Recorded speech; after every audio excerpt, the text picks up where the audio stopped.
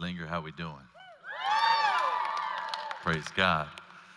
Praise God. It's so fun to worship with you today and just sit at the throne. That ministered to me. Stand right there and just reflect on the goodness of God, that He is holy. Uh, so excited about where we're headed uh, in just a few moments. And so, just to start off, as we get to know each other, let me ask you a, a personal question. Uh, some of you will have to be vulnerable in this, but uh, anyone here f- afraid to fly?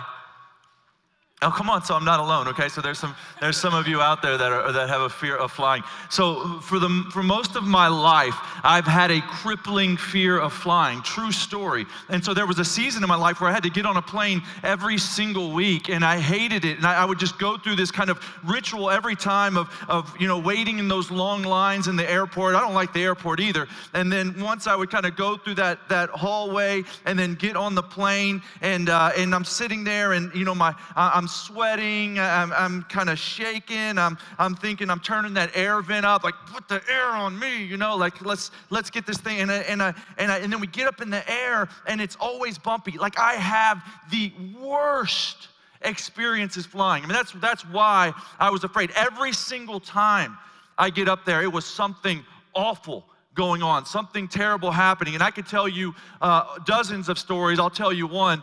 And so, when before we had kids, my wife Monica and I, she was a teacher, and it was spring break, and so we were going uh, to Fort Lauderdale for spring break. And so she and I, uh, we go to the airport. I'm, of course, terrified. You know, she's talking me through it, and uh, the big, strong Monica. And, uh, and so then we, we get on the plane, we get up in the air, and the, the captain comes on and says, Hey, we're going to experience some rough air today. And I'm like, of course we are because I'm on the plane, you know? And so I'm like, you got the entire sky, buddy. You can't find like somewhere there's no rough air. Like you could go anywhere, like find a pathway where there's no rough air. But, anyways, we're gonna experience some rough air. So I go to pray. You know, I'm praying, Lord, you, I hope he's wrong. And can you make the air smooth? And, uh, and then we, we hit the rough air all right? And so it starts bumping around. I pull out my Bible. This is a little superstitious, if I'm honest. I'm just like reading the scriptures, and and uh, and and then we hit this like giant pocket. I don't know. The plane fell out of the sky and like caught itself. Okay, my Bible bounces off the ceiling. True story. All right, the guy in front of me was drinking coffee. Poor soul. And so that's all over him at this point. And I'm sitting there, and the lady behind me, there's this older lady behind me, this grandmother with a grand with grandchildren on each side of her, and she starts praying. And I'm like, that's a good idea. I turn around in my seat and I grab her hand. Okay? she has her eyes closed, and she opens one eye, and I go, keep praying, lady. And uh, and so she's uh, saying this prayer. And then I get to thinking, like as we wrap up, she says, Amen. I turn back around, I'm experiencing some peace. I'm like, wait a minute, I, I just went into vocational ministry. I'm like, you're not gonna kill me now. Like, I just made this transition. Like, surely you're gonna keep me alive to actually do the ministry that you called me to. And, uh, and like, I'm in ministry, like, you wouldn't take me out like this. And then I start looking around the plane. It's a bunch of wild spring breakers. I'm like, what if we're collateral damage? You know?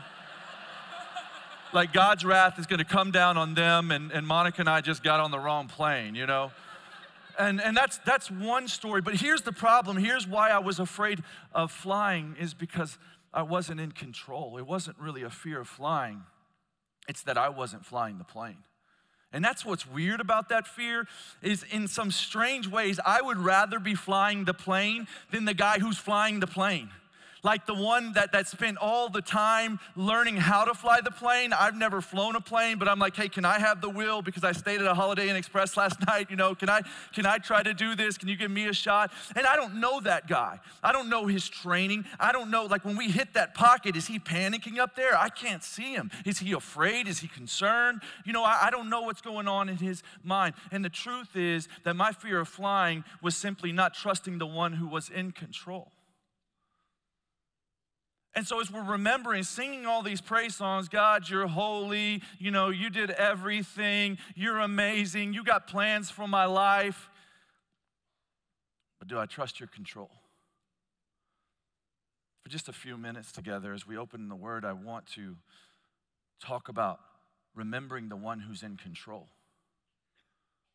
It's a really good thing to remember over and over, day in and day out, every moment, remembering the one who is in control. Because nearly every worry and every anxiety and every time that, that you face some fear, the reality of it is, is it's because you're not in control or you don't trust the one who is. Uh, you can almost trace every anxiety, every worry that you have to that reality right there. I don't trust the one who's in control, or I'm angry that it's not me. And so I don't know what turbulence life has thrown at you as you walked in through those doors today. Some of you, you're here because it's kind of a last resort. You know that life's been crazy and you're like, linger, honey. I gotta linger. I gotta linger. I gotta get there. And you made it. I'm proud of you for prioritizing this. But I don't know if, you know, you're single and you're tired of being single or, or maybe you've been struggling to get pregnant. Or, or maybe you just lost a baby. Or maybe it's a job that you have that you can't stand. Or maybe you wish you had a job that you can't stand because you've been looking for one. Maybe the kids, one of them has left the faith or, or or one of them are being bullied at school, or, or school is hard, or maybe it's that you're not feeling well. Maybe it's some illness in your life, or maybe it's the illness of someone that you love deeply, or maybe it's that you don't have enough money to pay the bills. I don't know what the bumps or, or the rough patches that God has you traveling through right now, but as we move through this very popular psalm, I know that we can remember that God is our provision, that we can remember that God is our protection, and that we can remember before you leave here today, before you do anything, as we move to worship, that you can remember that He's a prodigal father. And I, am going to explain that in just a moment, what I mean by that. But the passage that I'm going to be in, it's the most popular passage of the Old Testament. It's been in movies like Jarhead, Titanic, True Grit, featured in an episode of Lost. It's Psalm 23. And you'd be like, oh, great, JP, didn't you get to choose what you're teaching? Like, you're to go funeral psalm on me? Like, you're to go most popular? Like, you're to explain the one that we all know because we're super Christians that linger? And, um, and yes, I am. Because it's a psalm that's ministered to me recently. It's been featured in songs, U2, Kanye West got on the Psalm 23 bandwagon. And of course, Coolio, you know, Dangerous Minds. You guys know it. I won't sing it. As I walk through the valley of the shadow of death, I take a look at my life and realize. Okay, maybe I will sing it. I'm sorry. this is David's greatest hit. This is Shepherd David. I, I mean, this is the one that uh, we would keep going back to. If you went to David's concert, this would be the, the song that you couldn't wait for him to sing. Uh, it, it's, you know, it, has got some staying power, this song. Like nobody's singing Taylor Swift 3,000 years from now, but we're here and we're still gathering around this psalm. I love this psalm. And, and then I read a book by Phillip Keller, which I, I commend to you, a, a, Shepherd Looks at Psalm 23 is the name of the book. And it put it in context for me that David, as a shepherd, what he was actually writing, what he was seeing. And it really taught me a lot about this because Phillip Keller is a sheep herder or a shepherd for short. And so I've spent some time with sheep too, true story. Okay, I grew up in a small town, was in 4 H. Here's a, a, picture. That's me. That's a real sheep. That's my real hair. And, um, and, and so I just want you to know that you're in good hands as we move through this shepherd's passage between Phillip Keller and I. We know sheep. So let's go. All right, Psalm 23, a psalm of David. The Lord is my shepherd. I shall not be in want. David is saying, Jehovah is my shepherd. If he was talking about a company, he would say, God is my CEO. If he was a student, he'd say, God is my teacher. If he was a, a gym rat, he'd say, God is my trainer. If he was a, an athlete, he'd say, God is my coach. But no, he's a shepherd. And he says, the creator of the heavens and the earth is the one watching over me. What do I need? And what he makes clear up front is his role, and that's your and my role. We're sheep. And sheep's the single most vulnerable animal in the animal kingdom. They've got no talons, no claws, no fierce teeth. Right? Like you see fighting lion, like lions or, or NFL teams and cougars and, and bears and jaguars and, and fighting rainbows, but no fighting sheep. You, you, sheep, you, you, know, you know that what happens when a sheep is afraid? It falls over it freezes in fear. You know, one of the causes of death of a sheep is that it gets casted. That means it, it rolls over on its back and it can't get itself upright and it dies. This is a defense, I know, sad. It's a defenseless animal. This is you and me. You know what it means? For survival, we have to have a shepherd. We're lunch without him. Like we have no hope without him. And so I don't know who God is to you when you came in here, if he's a strong tower or mighty fortress or big giant creator God, but David is saying, No, Yehovah. I know him. I'm with him. God is my shepherd. He makes me lie down in green pastures. This is where this journey takes us. This psalm's going to take us to three places the greenlands, the valley, and the tablelands. It starts in the greenlands. There we are in the pasture. We're surrounded by grass and everything that we need. He makes us lay down. Phillip Keller said there's four things that a sheep needs in, in order to lay down. There are four things that have to be true. One, it has to be free from fear that if there's even if they even smell a predator they will remain on their feet or if they smell a wild dog they will scatter it, for it for a sheep to lay down it has to be free from fear are you afraid of job loss relationships kids what did you what fear did you bring in what's keeping you up at night it has to be free from conflict. In fact, if there's one angry sheep in the herd, all the, the herd will stay on its four legs.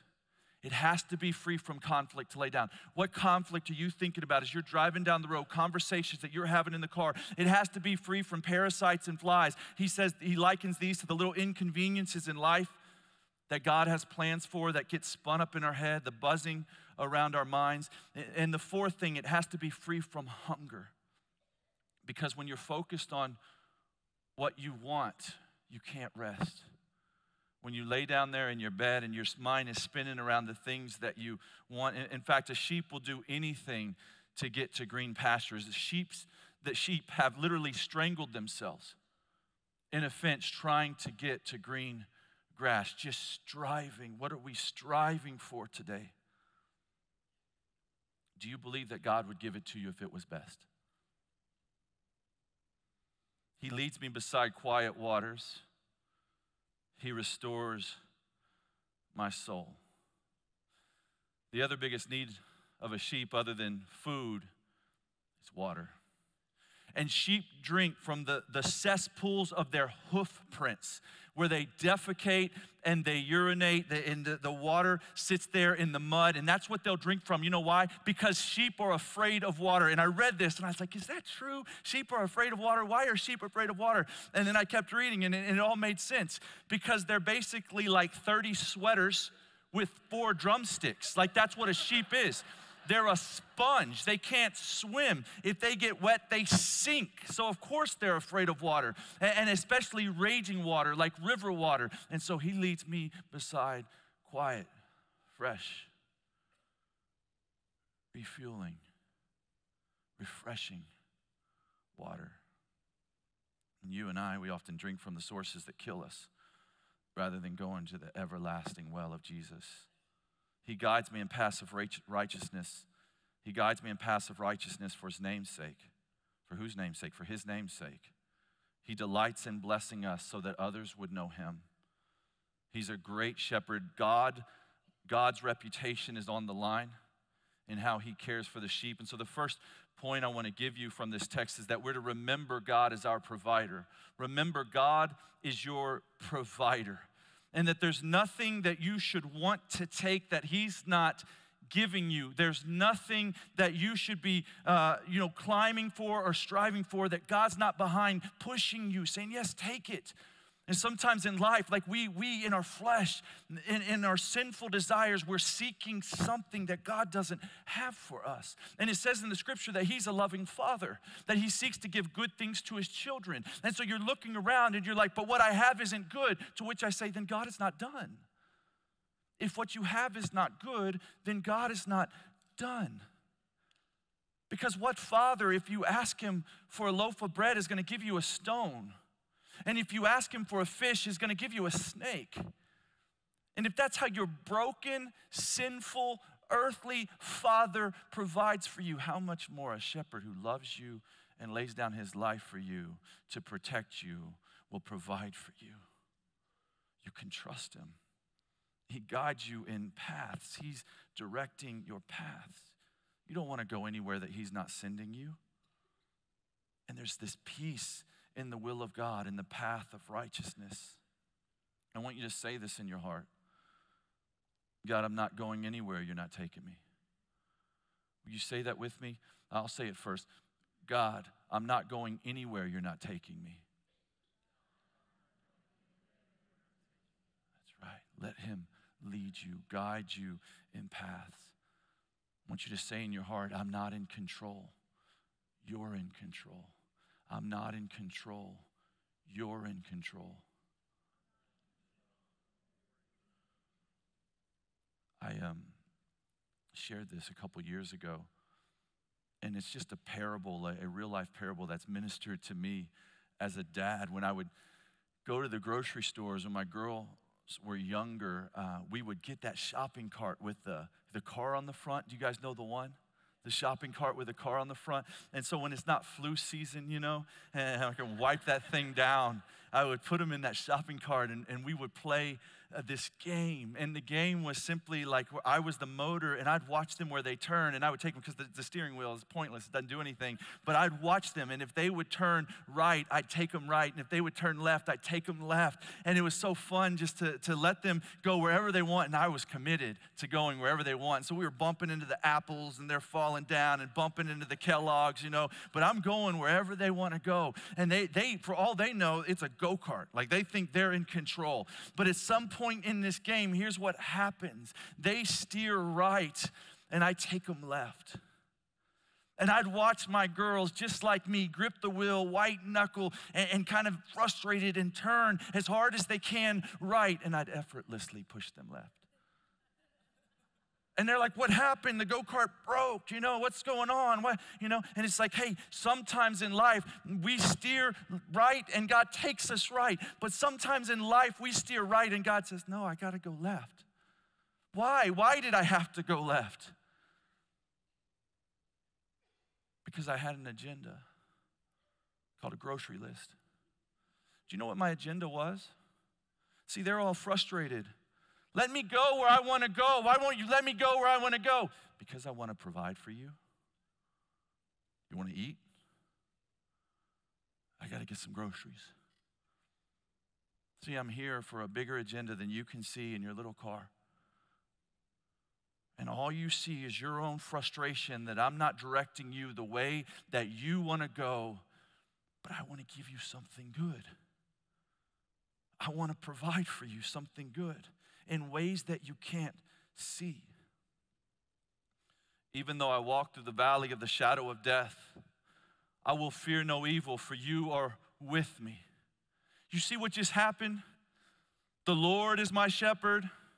He makes me lie down. But now, in the valley of the shadow of death, you, God, you, it's you and me, we're talking like this. You are with me, your rod, your staff, they protect me. Because in the valley, that's when we're closest to the shepherd. True for the sheep, too. You can see here in the valley, it is when they are closest to the shepherd. They're walking on paths, and the valleys a really scary place because they also are closest to the raging waters, also closest to the, the, the predators that seek to devour them. The cougars and the wolves, and they live in these cliffs, and they're walking right by, dependent on the shepherd, close to the shepherd, because those things will devour them. They seek to steal, kill, and destroy them. And so it's them and the shepherd. Your rod and your staff, they comfort me. I've learned that shepherd used two tools a rod, which is basically like a club, a bat, if you will. It's used for killing predators, and a staff. It's a long pole with a hook, like little Bo Peep, used for correcting them, putting that staff on a sheep's shoulder to direct their path. Say, no, go this way, no, go this way. So God protects us and corrects us. He uses that staff to rescue them if they fall. He leaves the 99 and he goes after you. You think you're going to outrun him? No, he's God. Do you think you're going to move outside of, of, of some place where he can't find you? No, he's God. He's gonna he's gonna leave the 99 and find you. He said that he will. And so God, our guide, he has everything he needs to protect us from evil. But JP, what if something terrible happens to me? What if something terrible happens? I mean, you're talking about worrying on a plane. Like, what a joke. What's wrong with you? Who's scared of flying? About eight of you, that's who, and me. But what about the real struggles of life? I found myself in a valley this summer. Man, everything was going right. Ministry was awesome. Teaching at places, traveling, getting to speak. And what happened in my own heart and in my own life is, is, is dependence, the thing that, that allowed me the privilege to talk about Jesus and to teach from this amazing, incredible resource. I had moved away from to my own selfish dependence. I, oh, man, I'm pretty good. You know, I'll get dressed up and get on that stage and get a microphone, and I'm going from place to place. And, and, and I was teaching at a church in Austin, and, and then some job offers came in. Hey, you want to take over this church? And I had just written a book, and it was getting published. And I'm like, man, this is awesome. And then I'm on the way back home from Austin, and this church on the West Coast called one of the largest churches in the world. Hey, can you fill in for our senior pastor? I'm like, man this is amazing. And I go over there to California and I'm staying in a hotel room and I'm laying in that bed and my heart starts beating funny. And I felt it. I'm like, man, something ain't right. Something's not right. And, then, and I'm not talking about worry, I'm talking about waves of anxiety came crashing over my body. Not afraid of speaking, nothing, not targeted at anything. I had no explanation. And I got through the message and I got on a plane. I came home and I went to the ER and I'm lying in a hospital bed because he makes you lie down. Not he lets you lie down. Not he allows you to lie down. He will make you lie down. And I sat there and they hooked me up to EKG machines and they're looking at my heart and they're like, man, you got some PVCs, premature ventricular contractions. I'm like, fix it. They're like, we can't. I'm like, what do you mean you can't? They're like, but you can. How? Slow down. How do I do that? Slow down. Slow down. And you know the most terrifying thing about the valley? Is I'm sitting there, I'm like, God, have you forsaken me?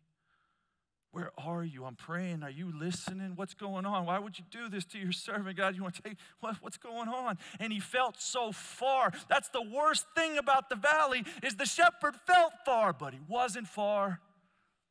He was the closest he's ever been can look back and now I know he was the closest he'd ever been. He loved me and he was pursuing me and he was doing something that I couldn't see in the moment. I'm just frustrated. Why are you trying to slow me down? Because I love you. God is your protector. Number two, God is your protector. Stay close to the shepherd when danger is near. I know, I want you to know that I, I understand that we find rest in Jesus. I understand that He's our Sabbath. I, I, I delight in the reality that Jesus has done the work for me. But I want you to know that when Jesus was here in his ministry, that he gave us a lot of instruction. and there's a part that we play in pursuing Him, getting to know Him. And so many of us, it's like when the, the marriage goes off the tracks or something happens to the kid or we find ourselves without a job, that's when we're throwing up these Hail Mary prayers, you know, this like, okay, God, you got to hear me now. And He's a stranger to us. And that's why it's so important to make the lingering not just something that happens at a conference, but it's a daily remembering that what happens tomorrow and the next day and the next day and the next day and the next day and the next day, you are pursuing that God so that when trouble hits, you know He's right there beside you and He's familiar to you, and you're just doing more in the trouble that you did yesterday. The same things, the same activity, because there's not cruise control in Christianity. It's not like we ever get to this plateau where it's like, okay, I've made it, and now I can stop pursuing God. I'm just gonna stay in close relationship with Him. Can I tell you something? There's not cruise control in any relationship. All relationships take pursuit and some work. Think too often we're trying to get to know him in the challenge. I was with my little girl at gymnastics not long ago. She was doing gymnastics, and it was around Halloween. And so the gymnastics place had a haunted house set up. Now, don't think scary haunted house, think gymnastics haunted house.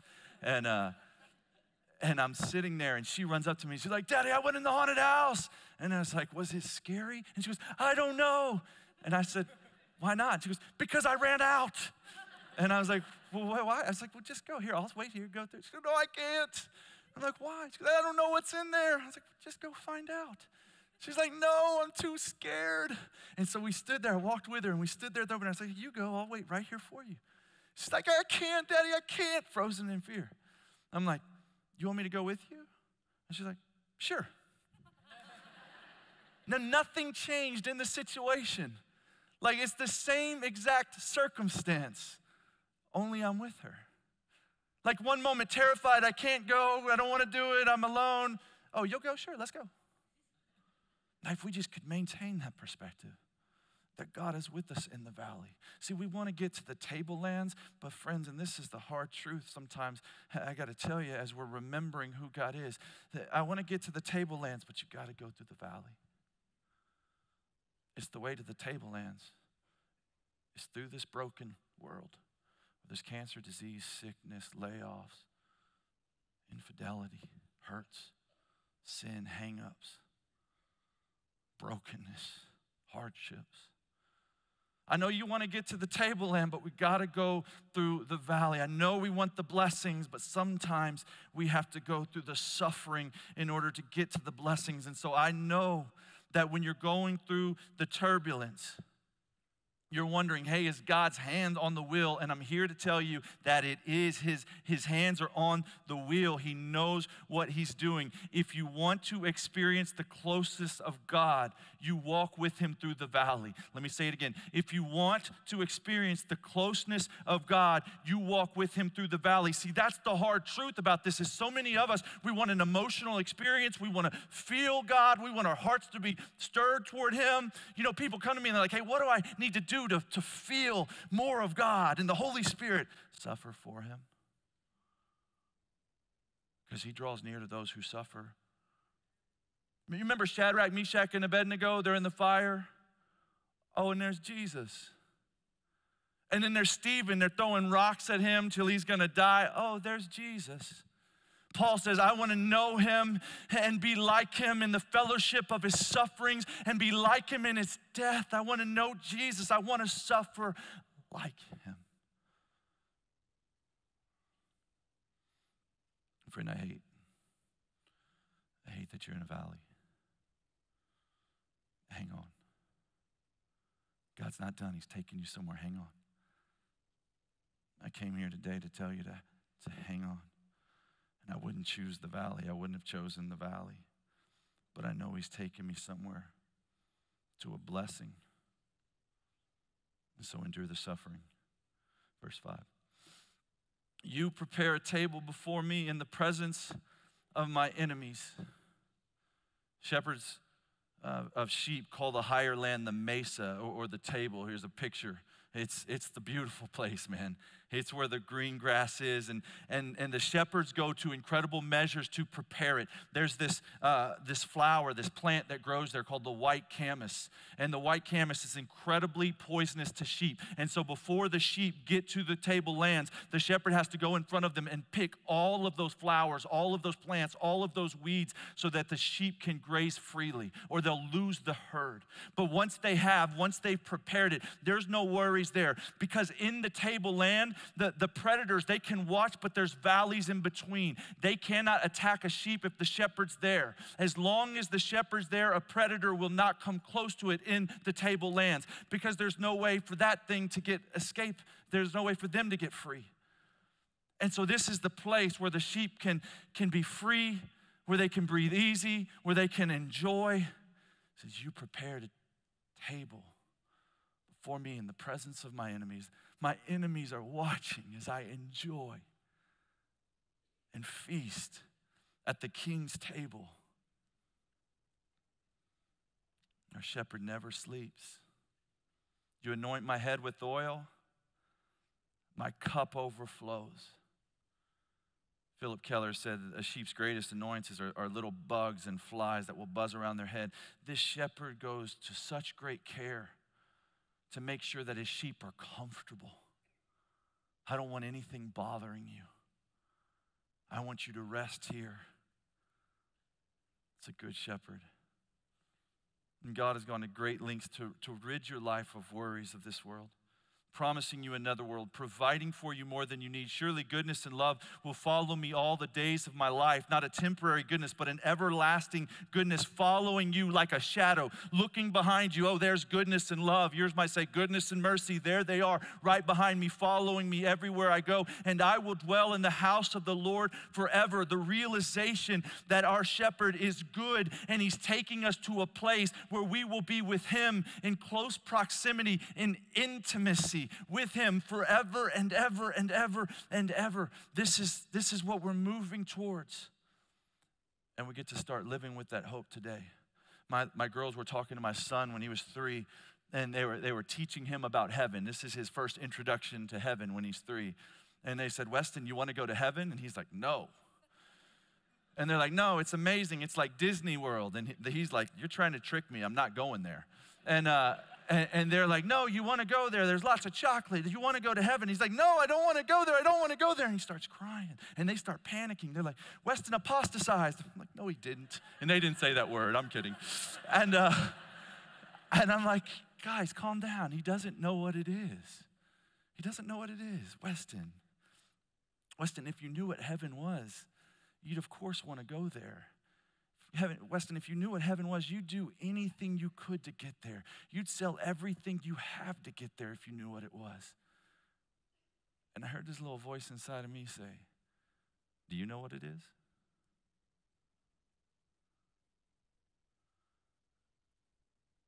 Do you know what it is? Remember, God is a prodigal father. Third point. Remember, God is a prodigal father. This requires some explaining because when you hear prodigal, you think prodigal son. What does it mean? Reckless? What does it mean?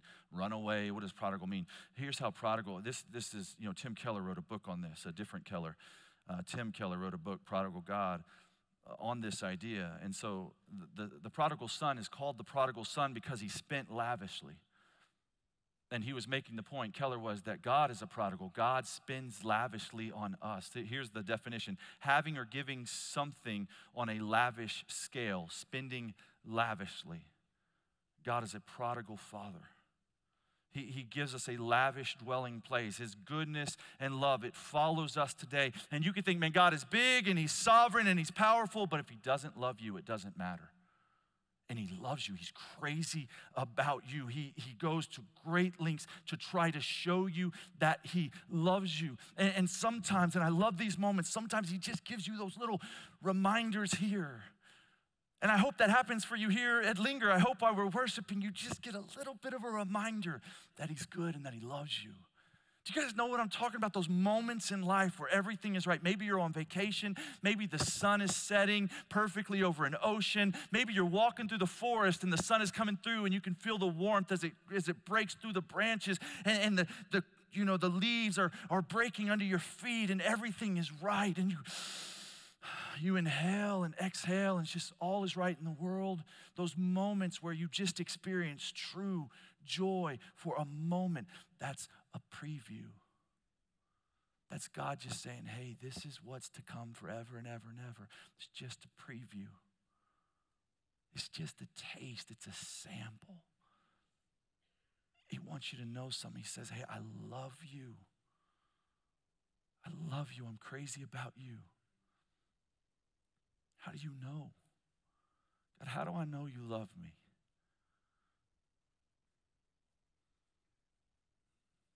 My daughter, Finley, she wants a puppy. more than anybody has ever wanted anything in existence, this little girl wants a puppy. And there's a problem with that. Monica and I, we see pets different, dogs different.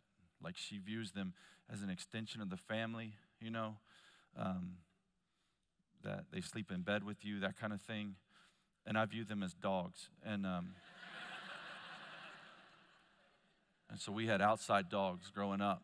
And, um, and so we signed a, signed a prenuptial agreement that we would never have dogs because we just don't see eye to eye. And, and there's no way, my little girl, you know, she wants a dog, but there's no way I'm going to be able to give her a dog. Like, it's just not going to happen. You're not getting a dog every day. Daddy, I really want a puppy. Daddy, this friend got a puppy. Her daddy really loves her, you know, and, uh, and, um, you're not going to get a puppy. You're not going to get a puppy. But I love my daughter and I delight when she delights. And so I did somehow this crazy thing. I mean, by supernatural strength, got her a puppy for Christmas. I know, I know. Pray for me. And, uh, and we did the box and the bow and everything in, in that moment. And, uh, and then the next day, it was like, what did I do? I got you a puppy, you know? And whoa. And, um, and and and now you know you got to take care of a puppy and they're a lot of work and and uh, and so i told her one day i said hey the, the other day actually i said you ever want to know if you ever wonder like if you're ever just going through life and you're like man does my daddy love me you look at that dog you look at that puppy and you know that i love you i made a sacrifice for you. I set my desires aside for you. And God says, You ever want to know if I love you? You look at the cross. Would you look at the cross? You see, man, I'm crazy about you. I'll climb mountains for you, run through walls for you, bust in doors for you. I'll go Liam Neeson on Taken for you. Like, I will leave. I'm, I'm going to get you. I'm crazy about you. Okay? I love you so much. What? I, I would kill for you. I would die for you. I did. You want to know if I love you? Look at the cross. David. David wrote this. You know, he's a shepherd, anointed. Anointed as king in 1 Samuel 16. Like, can you imagine? A shepherd didn't have voting rights in the pasture, equivalent today of, of like someone who had no place to live, smelt like sheep. The Cinderella story, Samuel comes, hey, there, we got to find a king. Is it this one? Is it this one? Is it this one? Is it this one? Is it this one? No, there's nobody left. Oh, there's the one in the field. It's him. He's anointed king. But you know what he does then? He goes back to tending to the sheep. And, then he, he goes and he plays the harp in Saul's court. And he's got to be walking around the palace like, this is my palace, but I'll just serve the king.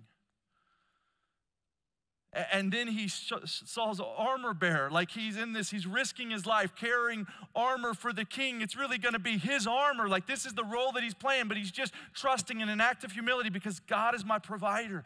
No, he's my shepherd. I shall not want. He makes me lie down in green pastures. He leads me beside quiet waters. He restores my soul. He guides me in paths of righteousness for his name's sake. And even though I walk through the valley of the shadow of Goliath, I'm not going to be afraid because you're with me. And you protect me and you correct me. And you prepare a table before me in the presence of my enemies. You anoint my head with oil. My cup overflows. And surely goodness and surely love will follow me all the days of my life. And I will dwell in your house forever and ever and ever and ever and ever. And so when I'm in a cave with this guy who hates me and wants to kill me, I don't need to kill him. And when there's a guy in the land who's twice my side, blaspheming, and an entire army who's afraid, give me a rock. For your name's sake. For your name's sake. So remember, John 10, Jesus said, Very truly, I tell you, I'm the gate for the sheep. All who have come before me are thieves and robbers, but the sheep have not listened to them.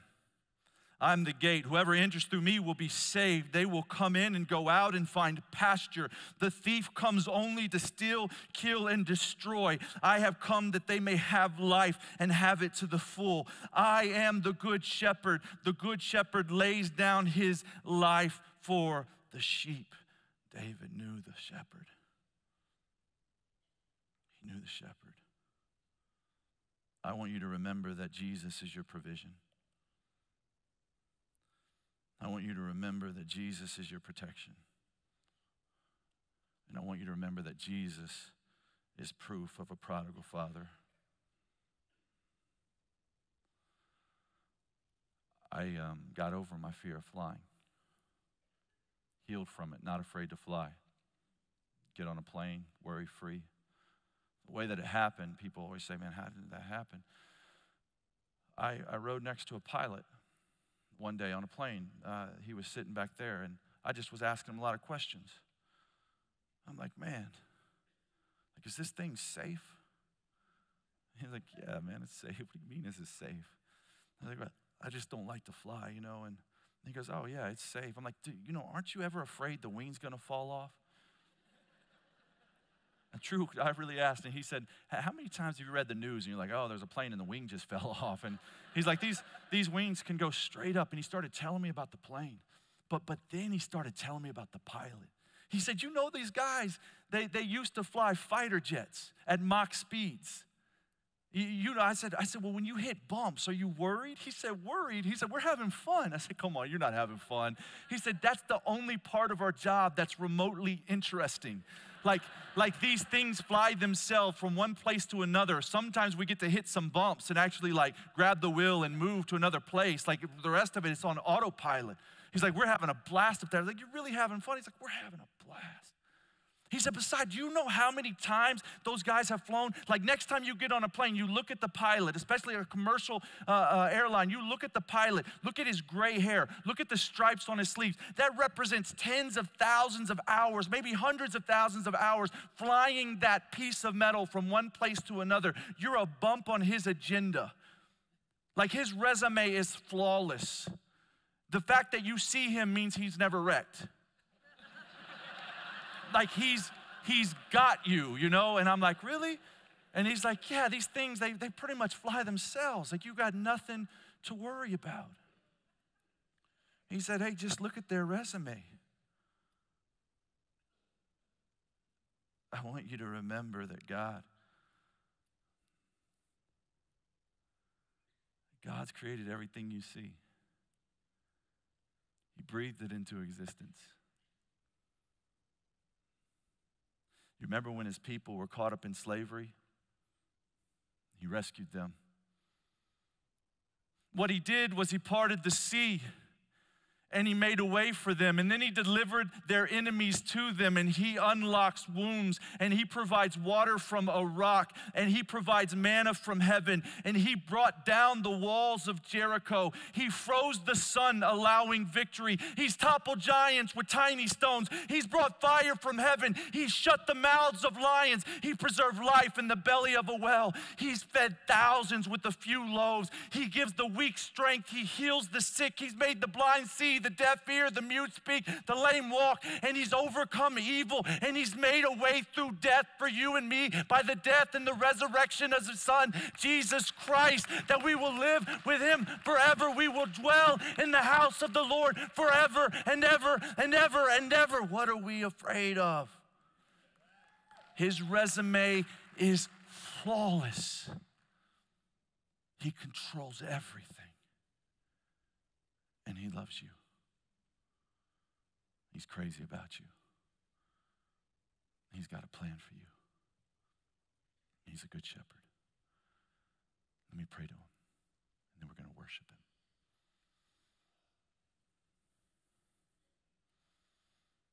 Father, you have saved a wretch like me.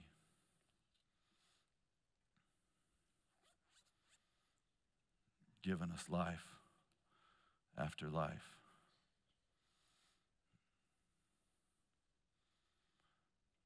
Father, I have a son, Weston, you know him.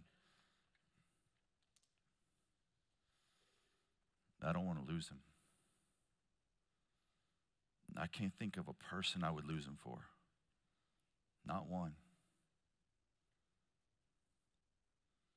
God, that you would give your son for me, that you would give your son for these people. That while we were yet sinners, you died for us.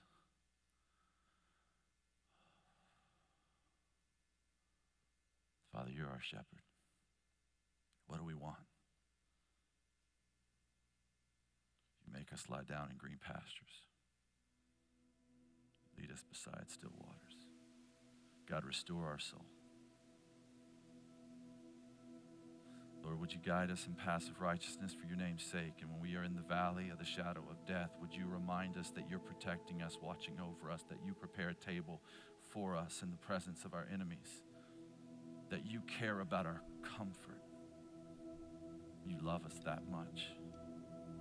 We have more than we could ever need. Our cup overflows.